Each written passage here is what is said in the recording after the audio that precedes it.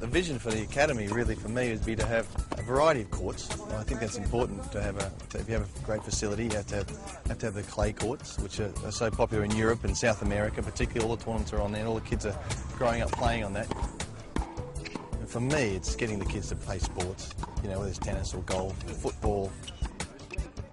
The great thing about this tennis academy is, is the, is the, is the locals. I mean, they are they love tennis. They're, they're enthusiastic about tennis. They're great kids, you know, and they're willing to learn. They don't really have anything here, but they have a great passion for tennis. So, so they need to have some decent coaching.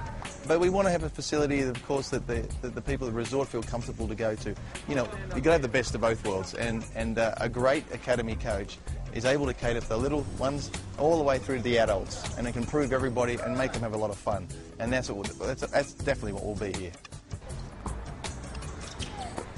I think one of the, the, great things to attract tennis to the area would be to have uh, an exhibition-style match with my, myself playing against you know one of the old my old rivals uh, of some sort. Junior tournaments as well. I think it's important to have junior tournaments, not just local junior tournaments, international junior tournaments.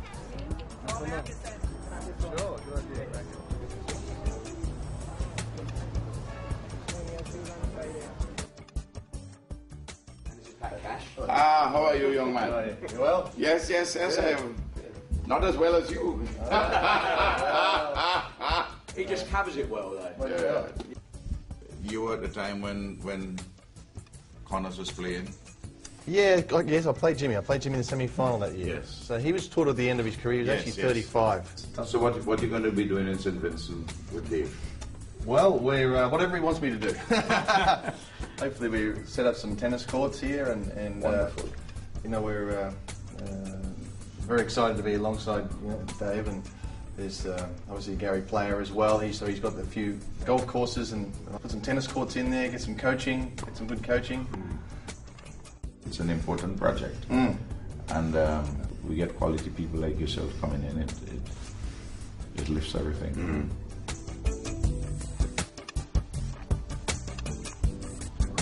I think we're quite fortunate, you know, uh, to have to have Pat with us and to to be involved in the, the Harlequin project. I think uh, is one thing for sure here in St. Lucia, and that is the potential of our people.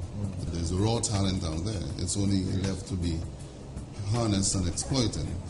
And um, I am confident that with you coming around, would certainly um, help in, in being able to exploit that talent in St. Lucia.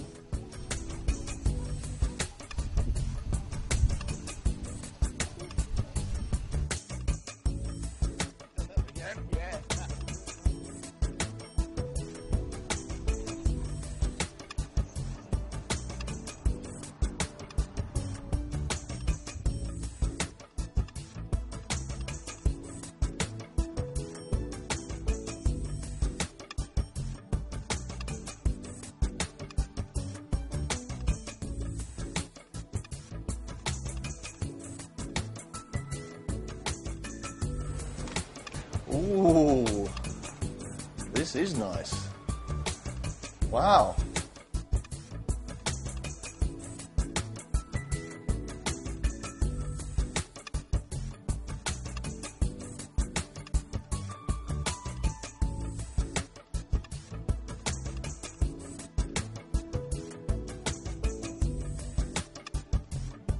Wow. I like that. That's fantastic, isn't it? Straight off the beach, straight into the plunge pool.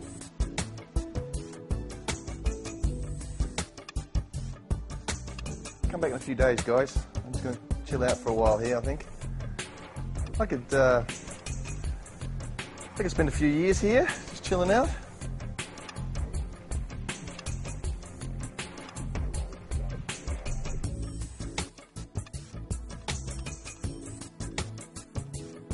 What I really like about St Vincent is it's virtually untouched. I mean, this is the first real development here, and it's with a lot of respect here for, for the environment itself. I mean, it's not like chopping out big chunks of the of the land or anything like that.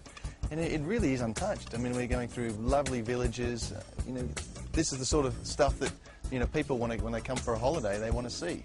You come here, and uh, you know you can you feel like you can get away with it. You just it's just peaceful.